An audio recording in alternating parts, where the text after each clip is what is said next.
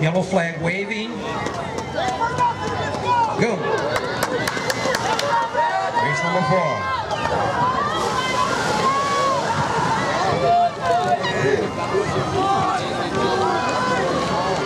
All right, gang, we have some official results. Official results. Varsity Girls, preliminary one, race run one. In eighth place, Mililani. In seventh place, Pac Five. In sixth place, Kaiser. Coming in fifth was Molokai. In fourth, Kamehameha of Hawaii. In third place, Kalaheo. Yeah, we made it. And advancing to the finals, in second place, Kea'au. And in first place, Kamehameha Oahu, with a time of 4 minutes, 25 seconds. So again, Kamehameha Oahu and Kea'au advanced to the finals.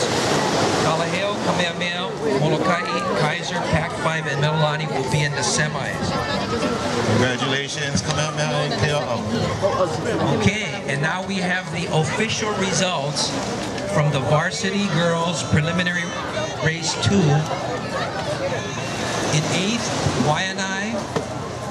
Seven, Anuenue. Six, Kealakehe. Five, Kapa'a. Four, Roosevelt. Three, King Kekaulike.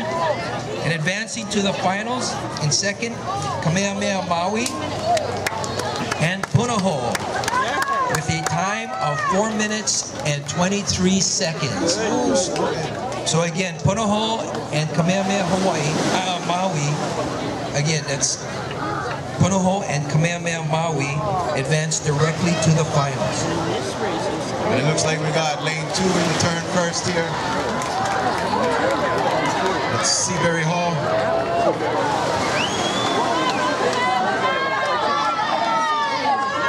Also, as a reminder, there will be a 15-minute break after this race.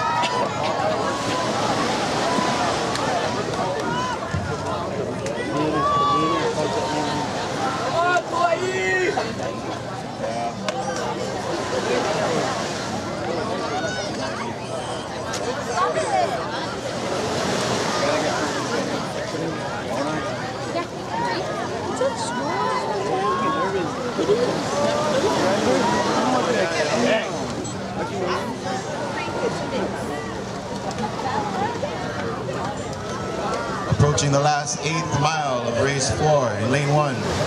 Hawaii, lane two, Seabury Hall, lane three, Mililani, lane four, Hawaii Prep, lane five, Kamehameha Oahu, lane six, King Kaunike, lane seven, ah Anuenue, lane eight, Roosevelt.